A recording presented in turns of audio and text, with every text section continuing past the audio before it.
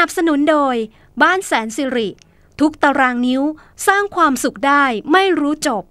ผู้ผลิตไฟฟ้าเอกชนรายใหญ่ และรายแรกของไทย Skip Max 80 คืนเงินสูงสุด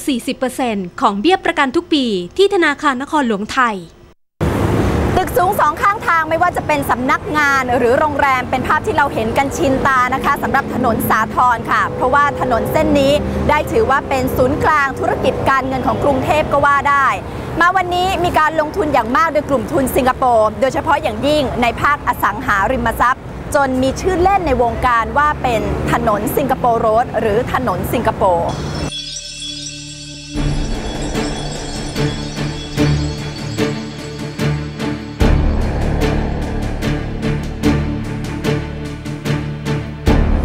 หลายอาคารที่ว่ามีเงินของสิงคโปร์เข้ามาลงทุนนะคะ ไม่ว่าจะเป็นการร่วมลงทุนกับบริษัทไทย หรือว่าจะลงทุนเองเลยเนี่ยก็ยกตัวอย่างให้ฟังนะคะ อย่างเช่น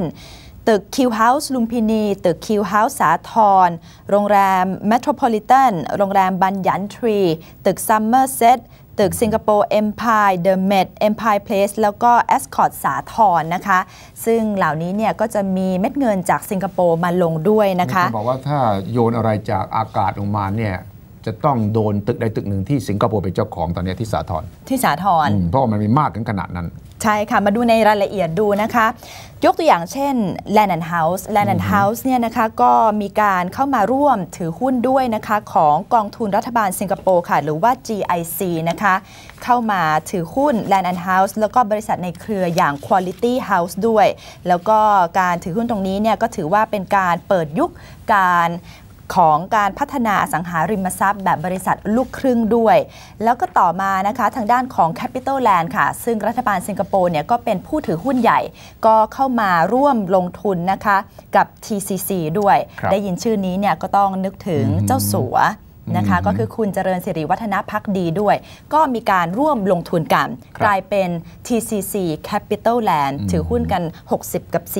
40%แล้วก็อีกตัวอย่างหนึ่งนะคะ ก็อย่างบริษัทแผ่นดินทอง Property ค่ะ ของกลุ่มศรีวิกรนะคะ ก็มี Capital Land นี่แหละค่ะ เจ้าเดิมนะคะ มาถือหุ้นด้วย ทางด้านธนาคารสิงคโปร์ก็ชอบเป็นพิเศษครับรู้สึกสิงคโปร์จะชอบก็คืออสังหาริมทรัพย์กับธนาคาร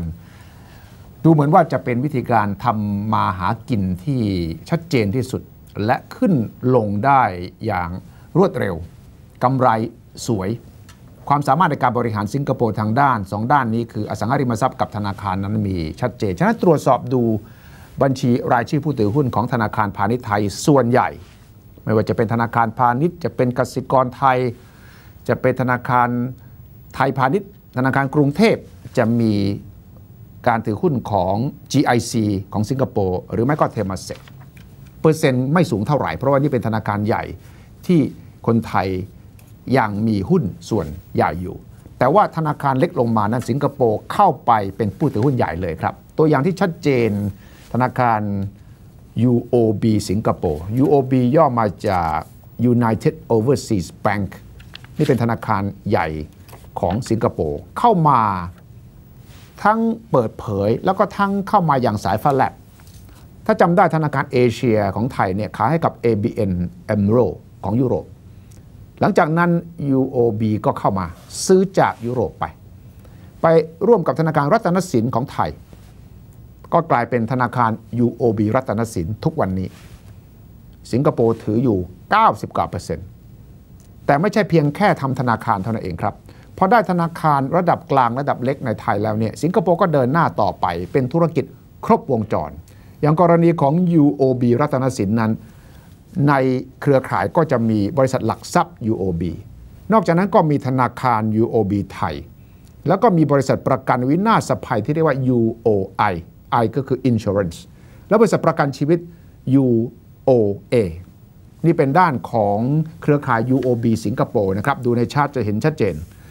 DBS สิงคโปร์เป็นอีกชื่อหนึ่งครับ ธนาคารนี้ก็โด่งดังอยู่ในอันดับต้นๆ เช่นกัน เข้ามาในไทย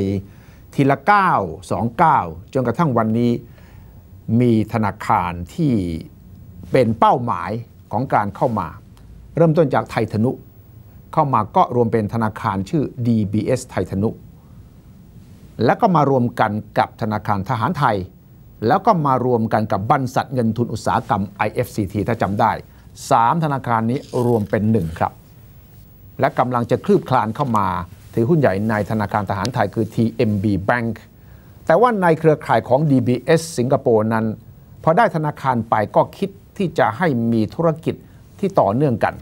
บริษัทหลักทรัพย์ DBS Wicker ก็เกิดขึ้น และ Capital OK ซึ่งเป็นบริษัทที่ให้กู้ แข่งขันกับหลายบริษัท แต่ว่านี่คือเครือข่ายสิงคโปร์ที่เข้ามาให้กู้รายย่อย เป็นสินเชื่อบริโภค ที่เป็นส่วนหนึ่งของ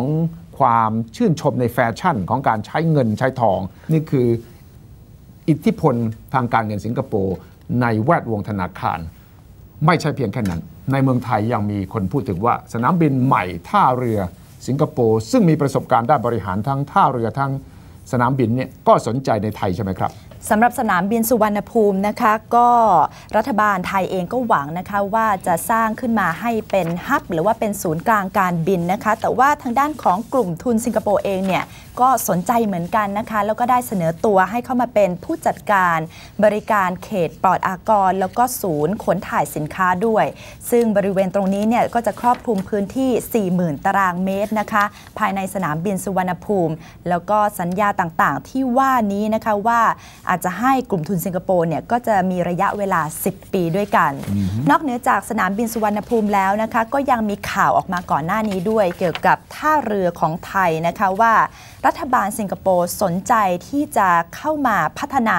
แล้วก็บริหารบริเวณท่าเรือของไทยนะคะไม่ว่าจะเป็นที่แหลมฉบัง แล้วก็ที่ท่าเรือกรุงเทพด้วย แต่ว่าทางด้านของรัฐมนตรีคมนาคมนะคะ คุณพงศักดิ์รัตพงษ์ไพศาล ก็ตอนนี้เป็นรักษาการนะคะ ก็ได้ออกมาปฏิเสธแล้วนะคะ เกี่ยวกับข่าวนี้ ช่วงหน้ากลับมาติดตามนะคะว่าไทยกับสิงคโปร์มีการแข่งขันกันในด้านไหนบ้างนะคะ โดยเฉพาะอย่างยิ่งการแข่งขันกันในการที่จะเป็นศูนย์กลาง หรือว่าฮับในแง่ต่างๆ ไม่ว่าจะเป็นการบิน การเงิน การธนาคาร หรือว่าจะเป็นเรื่องของการบริการต่างๆนะคะ ช่วงหน้าค่ะ ร่วมสนุกกับรายการชิปจรโลกกับสุทธิชัยยุนโดยตอบคำถามว่า ธนาคารใดเป็นทุนของสิงคโปร์กด 1 ธนาคาร UOB กด 2 ธนาคารนครหลวงไทย แล้วส่งมาที่ 4848888 ผู้โชคดีจะได้รับการสุ่มเลือกเพื่อรับโทรศัพท์ iMobile TV 901 จำนวน 1 เครื่อง แจ้งรายชื่อผู้โชคดีในสัปดาห์หน้าค่ะ